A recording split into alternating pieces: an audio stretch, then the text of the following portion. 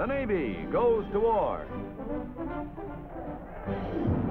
240 Naval Reserve midshipmen take time off from their indoctrination courses at Little Creek, Virginia Amphibious Training Base to engage in a bit of mad mayhem. Goes by the name of pushball.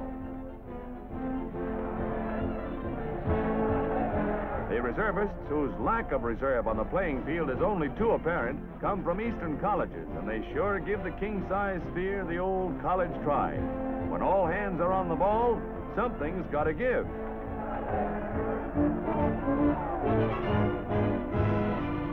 Something gives, all right, and the war is over.